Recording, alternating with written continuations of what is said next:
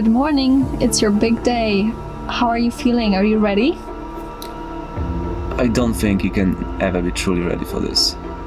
Don't worry, you've trained so much, you're fully prepared. so did everybody else, and yet every year there are hundreds of people that fail to reach the finish line.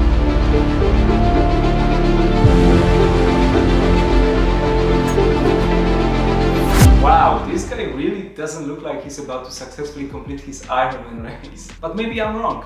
Who knows?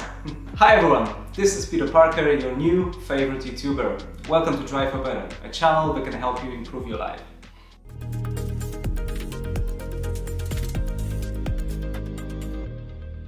As you probably noticed, the title of this video is part 2, meaning that there is part 1 somewhere. I strongly suggest that you have a look at my channel and find the part 1 and watch it after this video. Oh yes, and there's a part 3 as well. that means that you can have a short binge watch and learn everything you need to know on why you should care about becoming an Ironman and how to become one. Alright, let's move to things that matter. Okay, let's move to chapter 3, Ironman training. Let's analyze an informative case study of an Ironman wannabe. It's a random guy who decided at some point to reach an Ironman finish line. But as in life, not everything went exactly as planned. But you can learn from his mistakes and failings, but also from his successes, and you can just do better.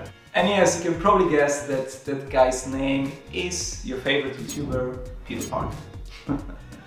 Let's start with my background first. So believe it or not, I was not a very athletic person for most of my life. I only started running in my mid-30s. Before that time, finishing something like a 5k run was a, a massive challenge and great accomplishment. Even after I started running, I usually did few months bursts of training just before the race, like half marathon. And then after I completed the goal, I just went back to my usual sedentary lifestyle. I was a very average, not really fast runner with really poor training habits. It wasn't until a couple of years ago when I started seriously turning my impossible Ironman dream into an actionable goal. At that point in my life, I could probably swim like 20 meters before I would start drowning. like a brick. So yes, that was a little bit scary at first. And yes, and the last time I um, rode a bike, recreationally of course, was probably like 20 plus years ago. Starting at that point, it took me approximately 19 months of training, which was spread across a few years to take me to an Ironman start line. When I finally learned how to swim, I did my first Olympic distance triathlon. It was such an amazing relief that I didn't drown. it felt amazing! Alright then, so I learned how to swim, so it was time to learn how to ride a bike properly. So how did I approach that? I started taking spin classes. Alright, you may laugh, but, but those spin classes, they're so well designed. They got all these attractive female and male instructors, they got this massive projector screens, amazing music. I mean, anybody can fall prey to that. so yes, that constituted my uh, proper bike training for, for my half Ironman last year. I mean, it was that and, uh, and a random half Ironman training program I happened to download from internet. Oh yes, I almost forgot about the most important part of my training. I read David Goggins' book can't hurt me. And I felt invincible, truly. Knowing almost nothing about proper training, I started pushing myself through every single training session like super hard. I even ramped up my um, weekly runs from 10k to full marathon in 4 weeks. Because you know, I wanted to be a badass like David Goggins. And everything else was just an excuse for lazy people. As you can imagine, I ended up injuring myself seriously. And it took me several weeks, almost two months to recover. Once I recovered, I lasted uh, almost two months and I got injured again. This time I almost tore my Achilles tendon. And that happened one month, yes, one month before my scheduled half Ironman race. Thank you, David Goggins. I couldn't walk for a few days and I was this close of cancelling the whole thing and not even flying. But in the end of the day, I read the book, so um, I couldn't be wuss. So I decided to attempt the race anyway. Thank you, guys. but that's not all. I, uh, I purchased my bike one day, one day, before my half Ironman race. And um, not only that, I got to ride it for 15 minutes because I learned that I had to deposit this bike in transition area and there was a deadline for that. And during those 15 minutes, I desperately tried to learn how to use those freaking clip-on pedals. And not only that, how to actually change gears on this bike. and I failed on both fronts. but in the end, the race turned out great. not. It was not great. Look at this video. This is how you should be using clip-on pedals. And, uh, and this is my pathetic attempts to actually use the clip-on pedals. that race was was really horrible experience. There was so much suffering. Oh my god. When it came to bike, I'm, I'm not kidding. I wanted to quit like 100 times. Literally 100 times. But you know what? David Goggins' voice was inside my head. Thanks man. I really mean that. So yes, I went through the gates of hell and I spent considerable time in there. I suffered a lot. I mean, David would probably be proud of me at that point. But somehow, I made it to the finish line after 7 hours. And man, I felt amazing. I mean, that was incredible.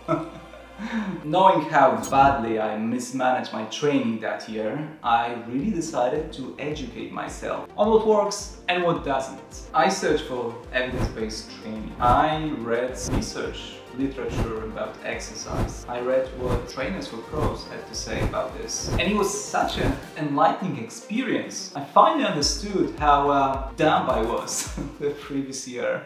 So I started training in January and I trained for 8 months until my Ironman race. And for the first time in my life, I trained smart using the latest science of exercise. I used a couple simple rules. So things like polarized training, so 80-20 principle, things like minimum effective volume, prioritizing progress, minimizing fatigue, prioritizing recovery, and obviously avoiding injury at all costs. Most people will tell you that you probably need around 10 to 25 hours a week for a proper Ironman training. That's a lot. I did 7 to 9 hours of training per week for most of my months of training and this was gradually increased to 14 hours a week, 5 weeks before the actual Ironman race. My results?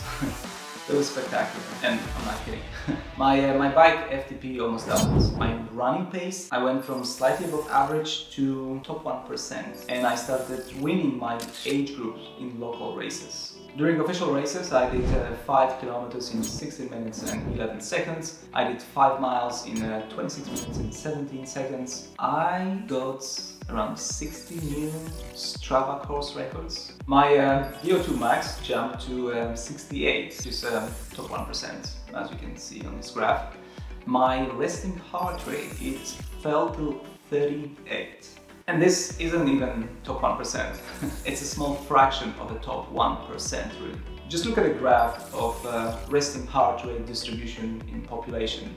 I'm here outside of the chart and David Goggins' self-reported resting heart rate of mid-30s is just next to me, just here. I almost got as good as David on this chart. I hope you're proud of me, man. My results were so good, but at some point I decided to aim for a Boston qualifier marathon time during Ironman race. That would be 3 hours marathon run after 8 hours of intense exercise. That's just insane and it would be top 1% of Ironman marathon finishers, including the pros of course. I signed up for every local running race there was and I started collecting medals, but not just finisher medals. I mean like top finisher medals. I went as far with this, but I even raced a local triathlon two weeks before the actual Ironman, which was already the time that I should be tapering. And I still felt good. So I did another strength training, which I wasn't supposed to be doing because it was already tapering. And then I did another intense interval training, which of course I shouldn't be doing. And then this happens.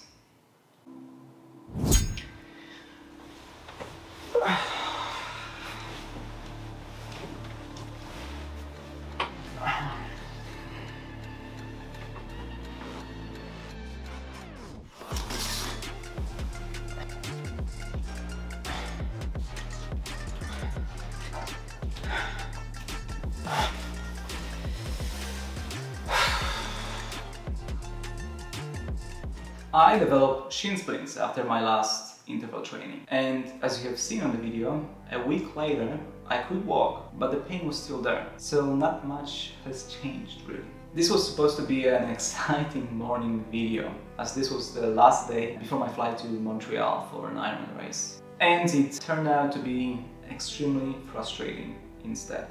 This year, my training had a very different approach than the previous year's training. It was injury prevention first and foremost. I employed pre and post workout routines. I gradually, very gradually, increased my weekly mileage not to exceed specific amounts. I developed a strength training to address some of my usual offenders like knees and my Achilles tendons. And it all worked amazingly well throughout the whole eight months of my Ironman training plan. But in the end, it was so successful that, uh, that I felt that I could do anything. And uh, well, I overdid it in the last few days. At this point, my situation was very bleak. It really didn't matter that my um, aerobic base was in an excellent shape as my leg was destroyed. So, you know, you kind of need your legs for an Ironman race. So I was thinking, what should I do? Should I even fly? Should I even attempt the race? Honestly, how can you do a 140 mile race with shin splints? Then, how? But wait a minute. Didn't David Goggins have shin splints and he continued to run with this despite the suffering? Yes, he did. yes, he did. I remember reading about it. Yes, he suffered greatly, but he didn't quit. He made it. So yeah, screw this. If he did it, I can do it as well. Yes, David, I developed your callous mind, an iron mind.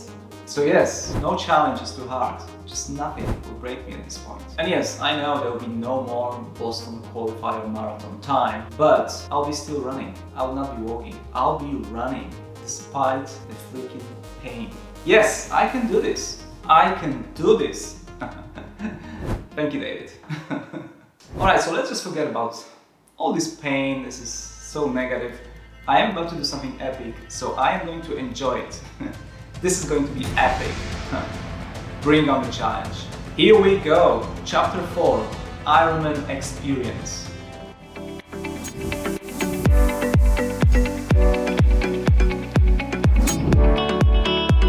Good morning, it's 4 a.m. We're on our way to uh, Montreal uh, with this uh, little fella. We just uh, dropped off our bike and hopefully we'll be able to pick it up uh, at uh, Montreal as well.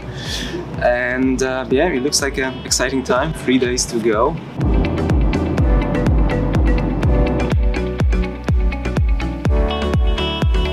Hi, we are Montreal Airport. So we just collected our luggage, which is excellent because if they lost our luggage, it would be almost impossible to replace. Uh, we still have to collect our bike from the excess luggage. Really fingers crossed that we'll get it because otherwise uh, there'll be no way of actually competing. Yes, wonderful. Good news, we got a bike. Oh my god.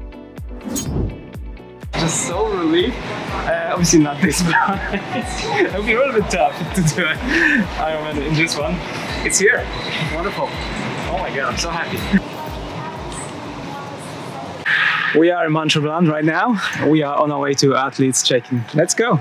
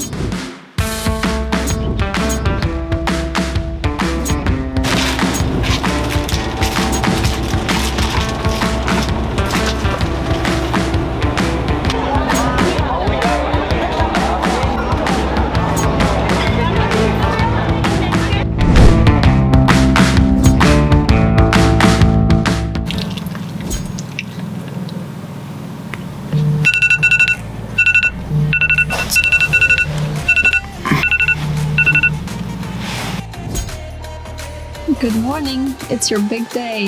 How are you feeling? Are you ready? I don't think you can ever be truly ready for this. Right, I wasn't exactly a ray of sunshine at that moment. But to be fair, if somebody woke you up at 4 am and told you to be ready for a whole day of suffering and your leg would still be hurting, probably wouldn't be particularly upbeat and cheerful about it. and besides, it's actually true that you can never be fully ready for your first Ironman. During the training, you almost never do sessions that exceed 50% of your Ironman efforts. And for a good reason. A gargantuan effort closer to an Ironman distance would just destroy your training. So really, you got no way of knowing what it feels like to try to do the whole 140 miles in just one go. But let's get back to the main storyline. Once my mind and body finally woke up, my attitude has shifted. And again, I was excited and positive about the race. I spent months preparing for this, and this was finally the day I've been eagerly waiting for. Oftentimes, putting in the required work to achieve something is more important than actually achieving that goal. And on that race day, I felt that. These hundreds hours of training transformed my body. These few years of consistency, persistence, and hardship has changed me and my character. I already felt that I had gained more than I hoped for, just by consistently trying to reach this crazy goal. Still, I wasn't going to give up at this point, because of some pain.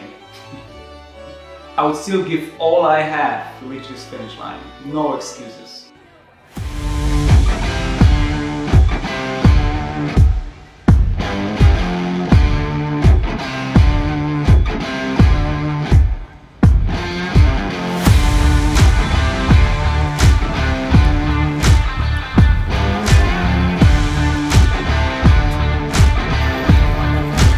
This is the day. We're on our way to the start line. Wish me luck.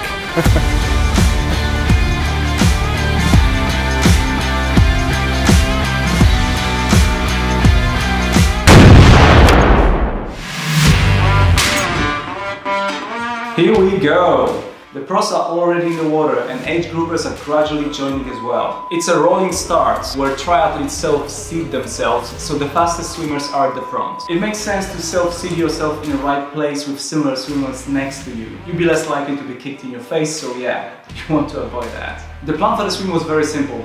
Just go slow and steady. The swim split takes approximately 10% of the whole Ironman race, so expending excessive amount of energy for this would not be prudent. Of course, it doesn't mean that it was going to be easy. It was almost 4 kilometer distance after all. As planned, I started slow and steady, and after what seemed like uh, eternity, I was sure I would be getting close to the midpoint buoy, but no, I wasn't even close. I couldn't even see it in the distance. I practiced my open water swim in a lake that was smaller than this, so there were laps and turns and it seemed like I was constantly getting somewhere.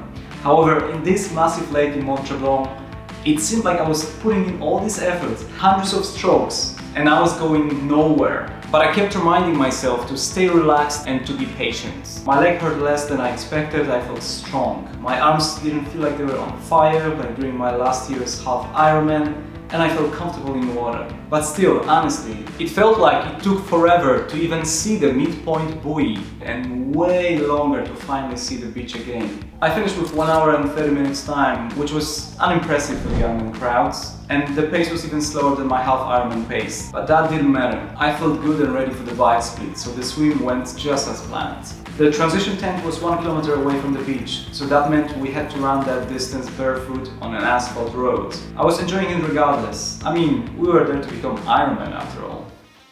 I was excited to start the bike. Yes, the prospect of doing 112 miles seems a little daunting, but I was loving it. I mean, the first two hours of it. After that, it just went downhill. My shin was sore but manageable. The problem started with the fact that I had to stop a few times for the porta potty. Why? I figured it's probably because of caffeine's diuretic effects.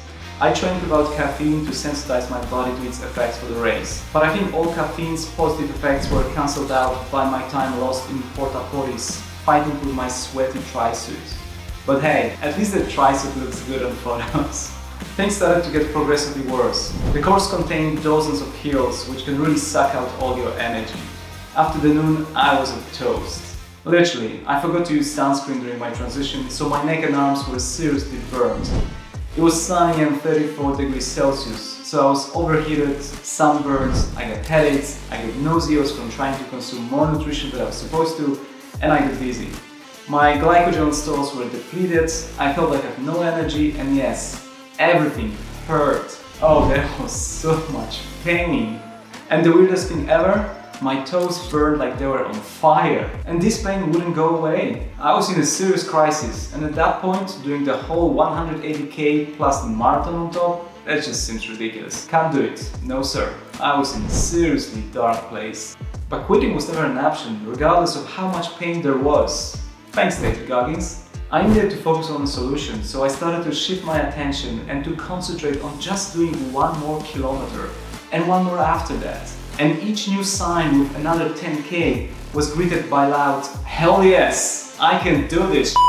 One hour later, a storm hit us with a heavy rainfall. It was a beautiful moment that cooled me down. It was a sort of a cleansing experience, a new start. Somehow I have regained energy and felt strong again for the rest of my bike. I finished my 180 km ride in 6 hours and 49 minutes. Considering that the bike course was hilly with the total elevation gain of over 6000 feet, I felt pretty good about it. That was an equivalent of 559 on a flat course like Ironman Texas. Anyway, once I saw my wife Sonia cheering me on, I got new energy. I was excited for the run. I originally planned to finish my Ironman marathon just under 3 hours, and one might think that this was a delusional target for an Ironman marathon. That is, unless you see my 238 prediction for a standalone marathon by Stryd, my power meter. The predictions you see were based on my actual running data, and they were very accurate in the past. They were only 1 second off for my 1 mile race and 19 seconds off for my 5k race, but that was on a windy day. If you are very well trained and run very fast, it is possible to do an Ironman marathon in just 20 to 25 minutes slower than a standalone marathon.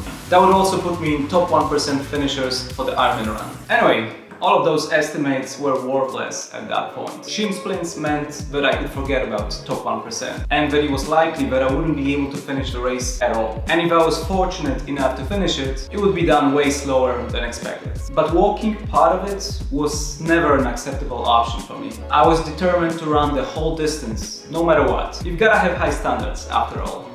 My run started relatively well and I was positive. There was a lot of pain in my body at that time, so one more source of pain in my leg didn't change that much really. But it had to be carefully controlled, otherwise I would break down unable to finish the whole race. So obviously I had to run slower than expected. At first I was managing it well and as it turned out my slow pace wasn't that slow. I was overtaking dozens and then hundreds of other participants. For the first 10k I averaged 420 per kilometer or 658 per mile. If I could sustain this, I was on track for 3 hours and 3 minutes marathon. There was a lot of hurt and discomfort, but still, I was loving this.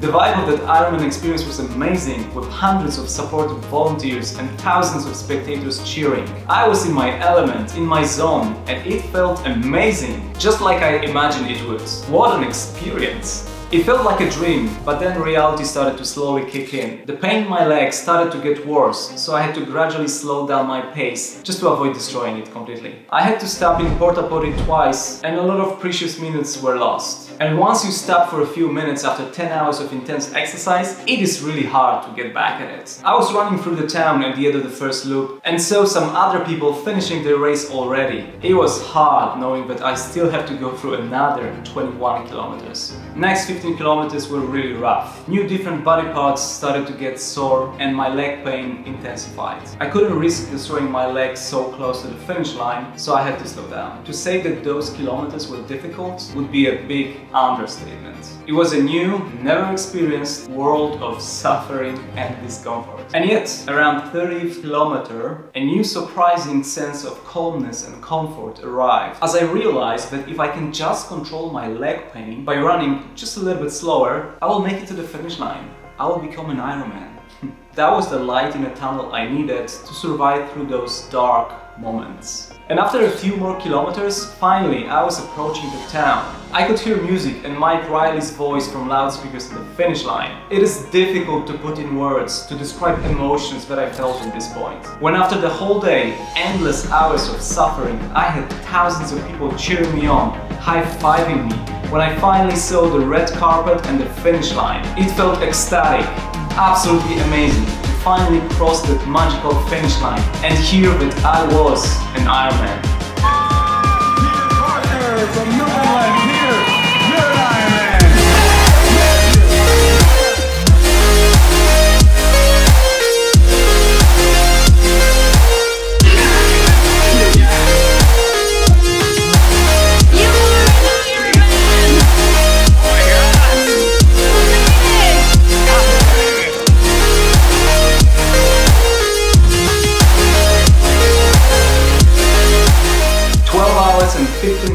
Suffering during the race, hundreds of hours of arduous training before. It was all worth it. Alright, so let's do a quick summary. Was I happy about my overall time? you bet I was. Ironman Mont Tremblant is a hilly course, so this time is approximately equivalent to 11.30, 11.45 on flat races like Ironman Florida, Texas, Barcelona or Tallinn. That puts me in a similar finish time as Matt from Yes Theory or Nick Bare. Yes, this guy. and this was done with shin... Excuse me, excuse me. Just stop, stop. Hi, I apologize for interrupting this video. I am the guy from the future. I mean not your future, the future of that previous guy talking. Who's in the past right now, so I am a guy from my own future. Nice. the video was recorded a few weeks ago and since that time I got a computerized tomography CT scan of my legs. And as it turns out, I wasn't running my Ironman race with just shin splints. I was running with shin splints and a stress fracture in my right tibia bone. So yes, I was literally running on a cracked or broken bone. That could probably explain some of the pain I felt during the race, I guess. In summary, my experience with an Ironman race ended up with a fractured leg. Alright, I will give some of you several seconds to relish in a good old Schadenfreude.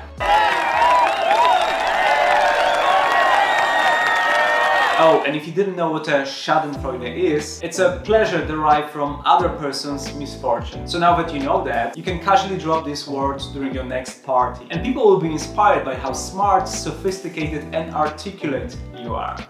You're welcome. right, where were we? Completing an Ironman with a cracked bone and shin splints is truly hardcore. So it seems that I have more in common with David Goggins than I had originally thought. But just to be clear, this was not my intention. Had I known that I had a stress fracture, I would not have run the race. It is not smart, and you should not be attempting to do the same. Discomfort, even in its extreme forms, and mental suffering might be typical for an Ironman race, and sometimes for a training as well. But pain is a different thing. Pain indicates that something could be very bad with your body, so ignoring it could be simply dangerous. If you have a pain above 5 out of 10 during your training, just stop whatever you're doing. And if it persists, go and see a specialist. You should know the difference between discomfort and pain. In summary, do what I say, not what I do. oh man, I think I'll be a terrible parent. the video started with a very good quote. Only those who will risk going too far can possibly find out how far one can go. And as it turns out, that quote is very well suited for my Ironman experience. I did go too far. It was partly because of my own overconfidence, but also partly because of my own curiosity. How far can I really push myself? When you're smashing dozens of your personal records every single month and doing things that you are absolutely certain were impossible for you a few years or even just a few months ago, you're really starting to wonder where this ends. And sure, if I didn't push myself to the limit, I would not end like this. But I will also be no nowhere near where I am right now. And I wouldn't crush so many impossible targets in the process. And really, I needed some rest after the Ironman, so being off running for a few months is no biggie. In the meantime, I can do truly hardcore stuff suitable for toughest Ironman. Pool running, as seen here performed by Triathlon Taren. Cool, right? Alright, time to go back to my past. Was I happy about my overall time? You bet I was.